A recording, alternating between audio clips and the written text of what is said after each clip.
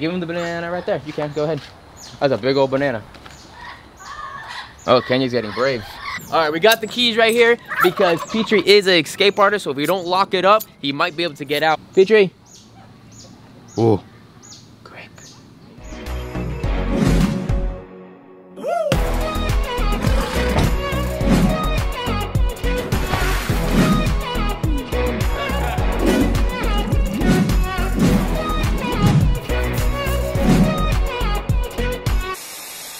Going on, Blake's Exotic Animal Ranch? Today's video is going to be sponsored by SimpliSafe. This is a reliable home security system that will make sure your home is safe. So the reason why I decided to go with SimpliSafe is because it has so many different types of devices that will work very well here on the ranch. So we're inside my building and SimpliSafe is gonna be inside of here. We have a keypad that is right here that will be able to arm and unarm my doors for inside of my building. This will help so that no people can come inside of here without me being here because it's gonna have a code.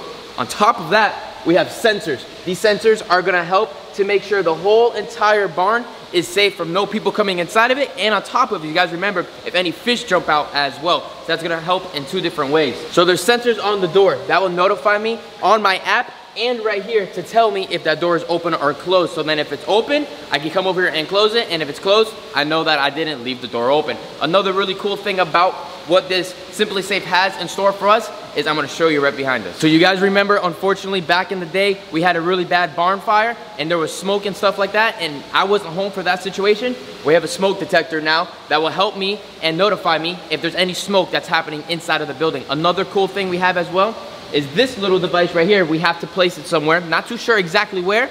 This is a sensor and it's gonna tell me what the temperature is inside of the building. If it gets too hot, I have to open up my garage door so that if you cool down the barn to make sure the animals are nice and safe. We placed two cameras inside of the fish gallery. One right here, that's gonna go right behind you guys and that's gonna help to make sure the arowanas and the arapaima don't jump out of the pool pond and the sensors are gonna help with that even more. So if anything moves, we're gonna catch it right on tape and know what's gonna happen. It's gonna notify me right on my phone so that I know I can run over here really quickly to save that fish. So this is the home base right here. This is the brain of all the little devices that are inside of the building. This will make sure to communicate with me and the phone that everything is working correctly. So it was very easy to set up this whole system. It took less than an hour to get everything put together. And on top of that, every time we leave this building, we press our code, we press the away. If anything goes off, it will notify the police that something has gone off. So if you guys would like SimpliSafe to be part of your home or for your ranch, make sure you guys go down to the description to simplisafe.com slash Blake's Exotic, you guys. Welcome back to another video here at Blake's Exotic Animal Ranch. Today, you guys, we are back home from Costa Rica, but we have a ton of videos for you all, so stay tuned for all that as well. But today, where we're standing, where we're at, is we're right here with Petrie's enclosure, and it's been a little while now that we haven't really done anything to his enclosure.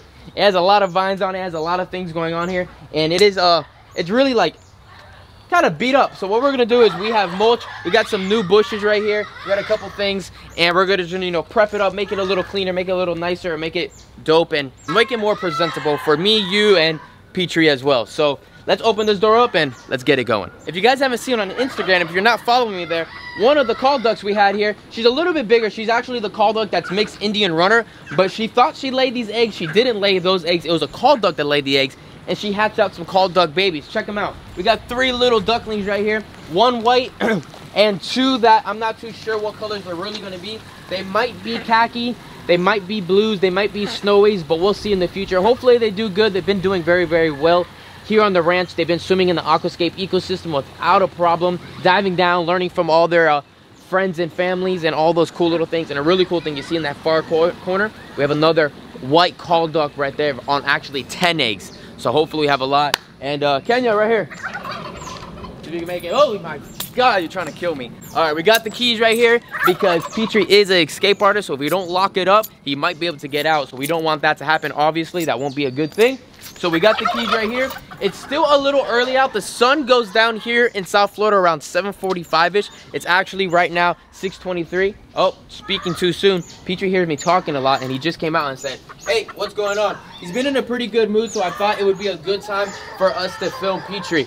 With me, he's perfect, but because Cassandra's in the back of the camera, he might try to attack her. So that's why I said today might be a good way to do it. And if you hear closely in the background, all the birds are talking and Oliver is talking like crazy. He's like, I want to be with you really, really bad.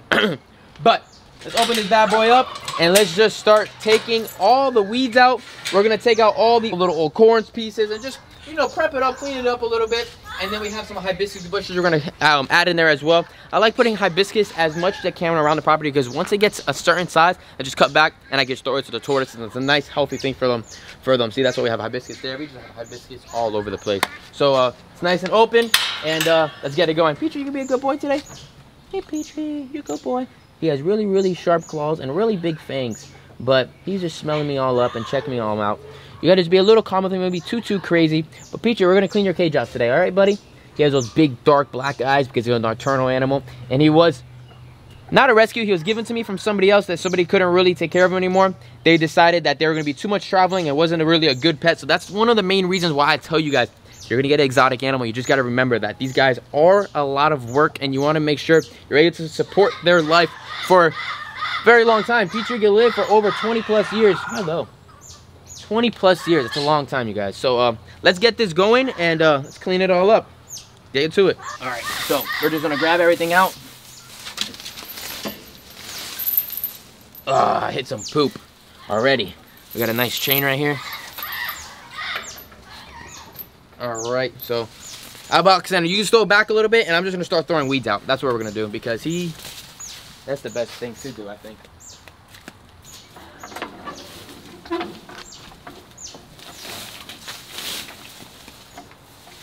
I don't even see his log anymore. What kind of leaves are those? It's just a weed that has taken over, and there's a lot of it. It looks like like pumpkin or watermelon. Kind of does look like pumpkin.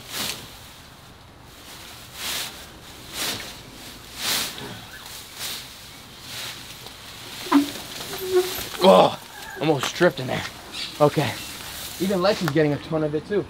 We got all that out. Woo! Let's get some more out. We got all out over here. We had a plant that's right here.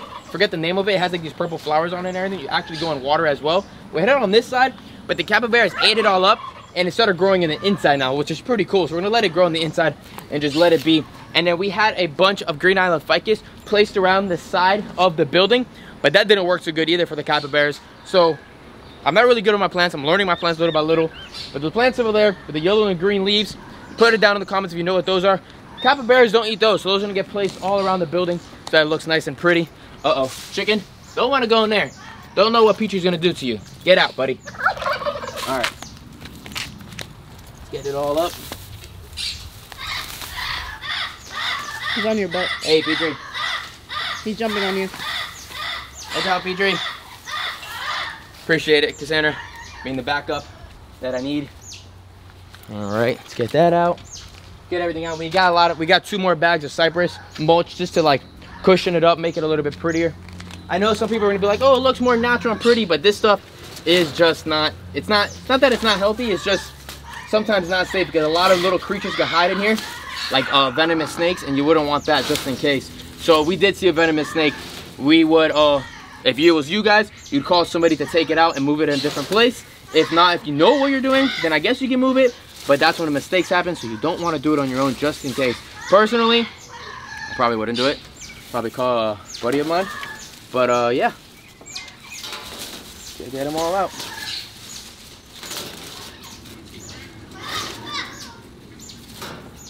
Maybe we'll go grab uh, a couple more new branches as well in here to like maybe pop a little bit more. Not too sure. We'll see if we can find some stuff. Uh, what we should do is get a rake. Let's get a rake. I'm gonna go find a rake. I'll be back.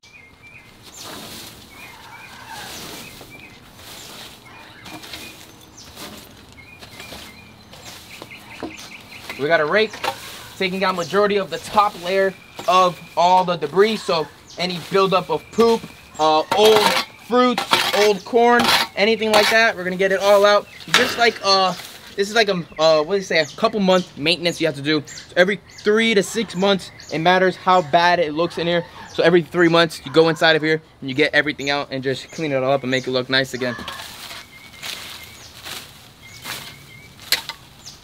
All right, so get all this, Just throw it out that way.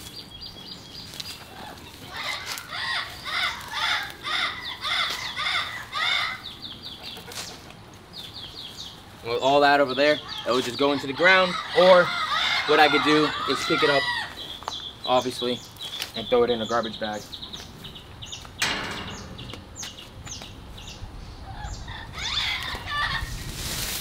A lot of old uh, grass over here.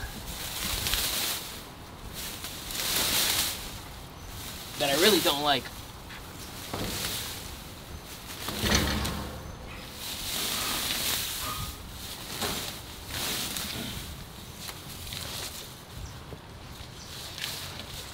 Kenya should be taking out some uh, a, a bowl for me soon. I asked her to get me a bowl for Petrie so we can show you how this gorgeous little guy eats some food out of her hands.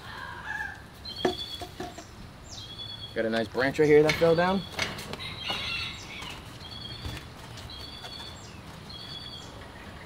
Put that back up. Just chilling there, hanging out. So this guy is nocturnal like we were talking about earlier, and he is a uh, nickname is called a honey bear. They're from South America. Their tail is prehensile tail. It's a prehensile tail, so it's like a fifth arm there. So they have the four legs, two back, two front, and their back tail is made to help them go down a tree, up a tree, hold on to things, all different types of stuff, just in case he's almost about to fall out of a tree and all those things. They don't make too many noises. They make this one little call every once in a while. It does it for, not too sure why he really does it. Never haven't really figured it out yet. So if you guys know why he does it, let me know. But he does this little like, I don't know, maybe we'll get it for you one day. But he makes a different noise every once in a while. But let's get back in here, keep getting some more. What else we got? Go to this back corner over here.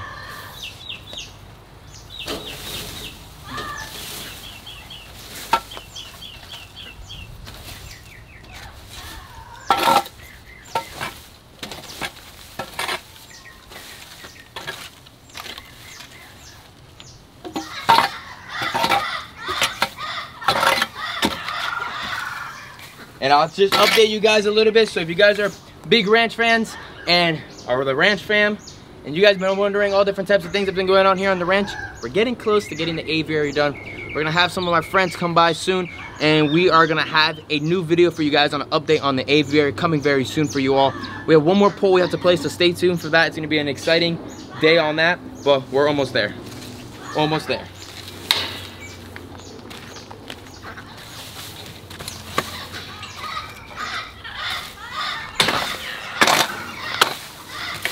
Speak for him. Ready? So Kenya's coming in right now, and what do you have? You got a cup for Nutella and peanut? Yep. And what else you got? Oh, look at Petrie. Look, that was the tail I was telling you guys about. Hanging on to the fence, Can making give sure. him his banana? Yeah, give him the banana right there. You can, go ahead. That's a big old banana. Oh, Kenya's getting brave. He's gonna grab it, and he got it. He'll eat the peel and everything. He'll rip it all up. He's using his mouth to go into his little hide box. Oh, there he goes. He's like, I don't want to be on camera. Go down. Tail's getting used for extra support, and he's down there munching it all up. What else you got in that buck bowl right there? He's eating good, huh? Grapes. Sweet potato, tomato, apples, corn, green beans, Hey, wait, peppers. can you take off that sticker? Sorry. Peppers, orange, I think that's it. cucumbers. All right, so we're gonna add in these hibiscus bushes. We pretty much cleaned the whole entire bottom without a problem. Put the hibiscus first, and then we will add the mulch. Let me actually get a little bit more of this front of all these weeds off a little more. Get this damn thing out of here.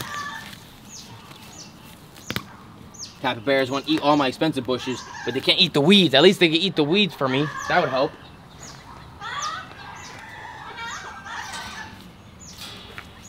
So I think we have four hibiscus bushes, two yellows, two pinks. So I'm gonna add one right about there. Uh, we got small ones, they're not too big, so we don't have to dig them too far. But everything grows, they all will get big, and we'll just trim them so that he has a little jungle on the floor.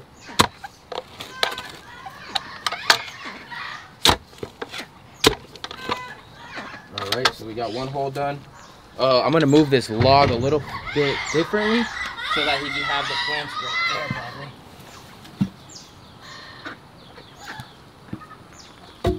Okay, so we'll put the plants here in this section.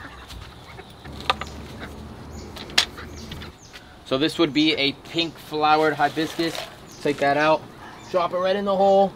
Perfect size right there. And this is nice rich dirt from all of Petrie's back end stuff and his pee and everything like that. And then when we walk by to give everybody water, we'll give him water, give the plants water as well. I know they're small, but I don't want to spend a lot of money in here just in case he decided to go ham and start eating everything up. I want to spend only a couple dollars on these little plants. Look at the baby ducks climbing the mountain of freaking grass. I think a blast over there. Okay, we got that other one there. And let me go grab one last hibiscus bush to put in here. We're only put three. We'll add another one for another tortoise enclosure somewhere else, which isn't a problem. More hibiscus doesn't hurt. So we'll just grab another yellow with three gorgeous little flowers on them. Oh, we got a sticker. Get that guy out. There we go. Pull that out. And drop it in. Perfect. Grab all the dirt. Put it all back in. New little bit of smells for him. Little bit of new things for him. Hang out. Petrie's probably just about three years old now. Living life. Doing his thing. Hanging out. I know a lot of people are wondering, oh, put Petrie inside the aviary. Oh, do this, do that. Unfortunately, the netting that we're putting on the aviary will not be able to withstand parrots or any kind of hard-billed birds. They're only going to be soft-billed bird animals in there. So birds like ducks, um, birds like cranes, things that eat fruits and stuff, things that don't break through wood or through netting. It's just soft-billed animals, so they won't be able to puncture or break the netting. But there's going to be a lot of really, really cool birds that probably a lot of you have never seen before. But yeah, Petrie will be staying here. Maybe we'll build him another cage down the road, maybe something even taller. Who knows? As of right now, it will stay just like this. He's living his best life, doing really, really well. We're gonna call him out in a second with some grapes and uh, show you guys how he eats a couple grapes. Set up his water bowl back up, get his food bowl.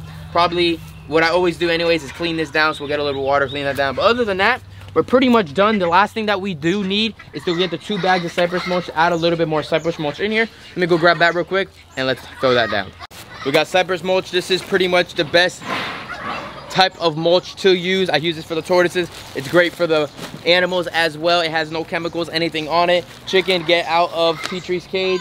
But um, let's go throw that down in there for some new substrate.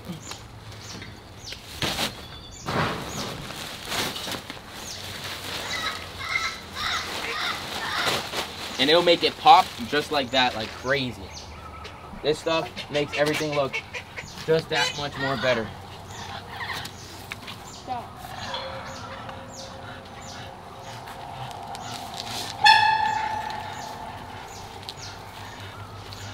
Like a brand new enclosure.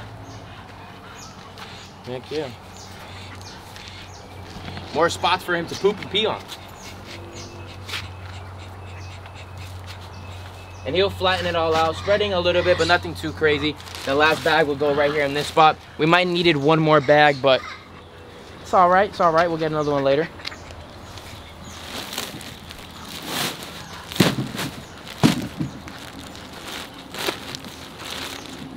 Put it down in the comments, you guys. What videos would you like to see next? What animal would you like to see next? What would you like to do next? Um, I have ideas, but sometimes I want to see what you guys want to do. And you know, see what you guys want to do.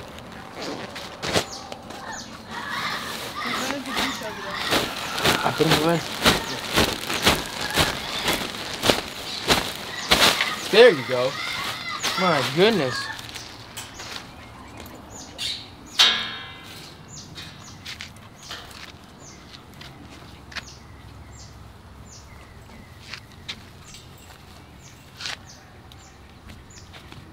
Did I just take a flower out? Here, Kenya. Flower for Big G. Where is he? Just come out with the flower.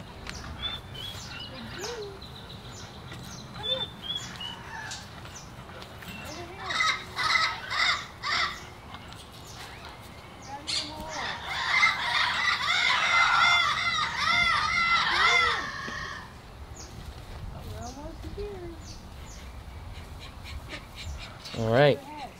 I think that is it, you guys. I'm pretty good with what it looks like.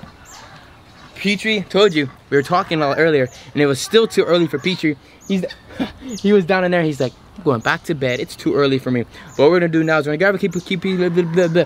we're gonna grab a couple pieces of grapes and bring them down, show you this little guy one more time, and that is pretty much it. We got his enclosure nice and prepped and pretty much clean. We need one more bag for that back corner, but other than that, 90%, 95% of the whole enclosure just got cleaned out. New bushes in it, new little area. Definitely needs a new towel. Let me grab that thing out of here. That's uh ready for a new one. He has to go in the washer and get a new one for him. Even though it's getting hot now, he only needs that for winter time. The heat of Florida is definitely starting to show. So uh yeah, let me grab a couple pieces of grapes for my little guy Peach. Because he loves grapes. Kenya's over there still trying to get Big G the He's literally staring at me now. I just fed him one. That might be why. Petrie! Hey! Petrie! Ooh. Grape. Grape Petrie. You want grape Petrie? You want grape? Come. You want grape? You know you want grape. Alright, look, you guys ready? Give me a grape. Give me.